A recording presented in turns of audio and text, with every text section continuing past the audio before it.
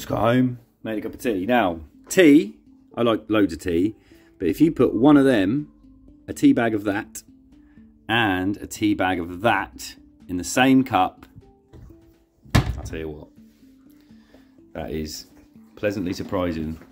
My girlfriend's like, oh, that'll be minging. Tried it, she's like, actually, all right, fair dues, it's lovely. So we just got in from the snow and I just thought I'd mention a little bit about aeration because it's that time of year.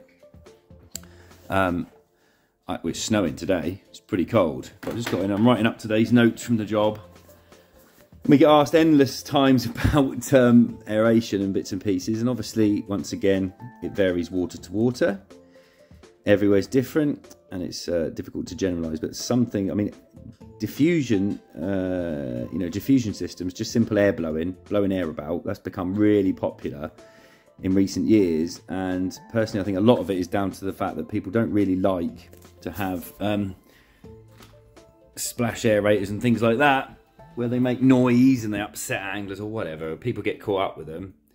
So people do tend to, you know, a lot of clubs we go to, they'll put these diffusion systems in, which I can't, don't know why they're spending so much having them fitted when you can do it, do it really, really quite quite easily um, with the right diffuser. For me, it's all about the actual diffuser, the the, the, the actual unit you're using. Uh, Dryden um, sort of sausage long diffusers are the best ones, but they're very expensive. But you can buy um, cheaper alternatives to that. Uh, a lot of them are run on stones and like the, the bits and pieces, but you're pushing air around it. Had, they have their uses; they're not doing any harm whatsoever. Blah blah blah. But you know they work they work okay in really really deep water, but in shallow water, you, for the electric cost now, which you've got to bear in mind, you're just pushing a bit of air around.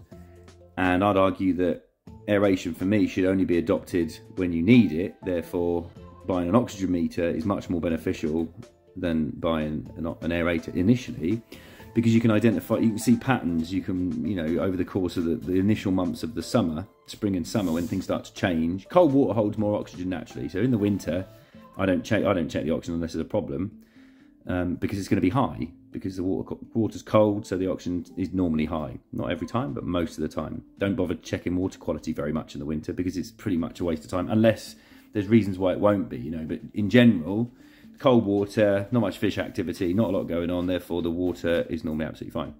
As it starts to warm up, you want to be monitoring your oxygen. We, so many places we go have an aerator running full time, and you say, why have you got that on? Oh, it fishes better when it's on. Okay, what's the oxygen? What's the dissolved oxygen rate average for the last month? No idea. They haven't got an oxygen meter.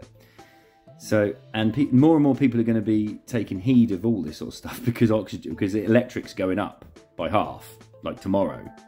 So that's going to clubs that are just running them on, you know, and most of the time they don't need them on. That's the thing. You only want you you only want uh, any sort of artificial aeration if you if you if your dissolved oxygen is regularly above sort of you know uh, sorry below sort of three milligrams per liter. Um, in my opinion, because you know the fish will feed feed at that, and a lot of places in the summer they'll be at that anyway, and you'll still be catching fish. But if it drops below that, that's kind of our warning warning trigger. Really, we always say people who are feeding as well, or, or got heavy, real high biomass. You know, if it drops below three and a half, that's when you want to look at have I got emergency aeration ready. Um, and as long as you've got something in place ready, uh, and I just think if you haven't got electric, lots of places haven't got electric. So like a long run diesel generator and a splash aerator for me personally is the best option because you can just deploy it real quick, real easy. Um, some of these long run diesel generators will run 24 hours and you can run, you know, one horsepower or two horsepower, uh, two separate aerators off, off a Jenny. We've done it before at a number of fisheries and it works really, really well. But only in emergency, I wouldn't have them on all the time. I, there's no need if you've just got oxygen aeration on all the time. A, you've got no backup there, and you're you're relying on it uh, too much. And there's always reasons there's always reason. So I wouldn't look straight away at spending money on aeration equipment. I'd look at environmental factors first. I'd look at is there as much, you know, within reason, is there as much wind getting on the lake as, as, as possible? And if you're dead against addressing that situation, all right, then you're going to look at others. So you're going to look at aeration because if you're not willing to accept the fact that, you know, a lake that's got decent light wind penetration is a lot better, um, a lot more productive than one that hasn't, um, long term over a period of years, um, you know, you need to kind of understand that initially.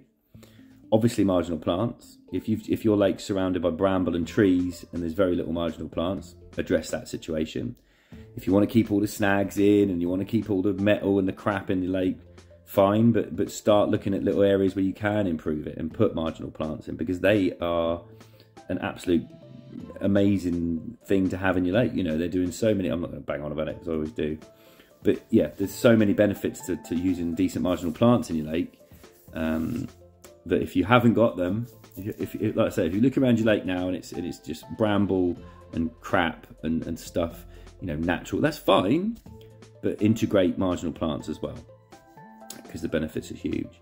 So then you're left with aeration, and if you're going to have aeration, like I say, I just use a person. You can again, and uh, people use splash um, things like four sevens and all these little other tiny bits and pieces. They're fine, but but the main reason I find asking clients and, and other people why they won't use it because you want to you want to kick water around. You know, you want to really kick some water around when it's hot, if you need to, only if you need to. But you really want to push it around. And for me, a splash aerator is fantastic. I used to put all my faith in paddle wheels back in the day, years and years and years ago, but I think things have really moved on. Diffuser systems, fine, you know, better than nothing, but I just don't see them doing as much as a, as a splash. I really don't. And but they're very, very popular because people don't like the fact that they've got to have something fixed there. Uh, anglers get caught up on it and all this and the other, but they don't do as much good as uh, decent surface aeration and things like the, the four sevens and things like that. You know, we've got one on the the newer um, um, stock pond at the Carp Society, and it's great. It's silent. It kicks the water around. It's great. I don't think it's. I think if you put a splash on there, it would it would it would serve a little bit. It would be a bit more efficient, certainly. But again. Uh, if you've got really weak banks and you can't plant them, then if you've got a tiny pond and a whacking great big aerator, it's going to aid erosion. So there's lots to think about. It's not just a case of oh we'll just chuck an aerator, turn it on, have it running all the time, um, because that's that's ludicrous. You're wasting money. You've got no backup if it goes wrong. But I do go to a lot of places where they've just got permanent aeration on all the time. You're learning nothing at all. You're just relying on it completely, which you shouldn't be. You know, it should be an emergency aid. It should be something that, that you've got you know, if you've got too many fish and they're relying on that aeration, you're managing your fishery wrong. Because, you know, you should be adjusting your stock levels. You should be doing, there's loads of other things you should do so you're not relying on emergency aeration. But that said, it's a very, very useful thing. And, and you know, you are up against um, the climate, you know, the, the, weather's ever changing. And uh, we are getting uh, less water at different times of year. You're getting a lot of problems with, with algal blooms. And again, plants can help that. But yeah, all these things are worth bearing in mind. It's not just a case, you know, we, a lot of places they don't understand fish. They just buy tons of fish, stick them in. Oh, I need an aerator, tick that box, chuck one on, done. And then they wonder why they have loads and loads of problems. All right, dog wants me to throw a ball. So yeah, just just quickly touching on that. It's, it's going to get to that time of year real quick when as soon as it starts to get warm, fish will start spawning, the phone will go mad, people are losing fish. Oh, we've tried this, we've tried a potion, we've tried a dye, we've tried all this, our fish are dying and there's lots you need to do. And like I keep saying, you know, it does start in the winter. You, you, your prep work starts in the winter. Once you've assessed your biomass, once you genuinely know what, what's in there. We've done a lot of work. God knows how many we've done. I'll count them all up this winter, but we're out, we've been out every day.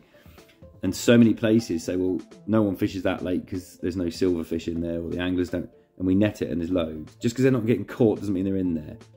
Um, you know, you've got you've got uh, predation and, and oxygen problems to deal with and, and they're, they're, two really really big issues really water quality and predation. If you can get the, if you can suss those two and, and do do as much as you can um, in readiness for the summer to make your fish happy. If your fish aren't stressed they'll eat more.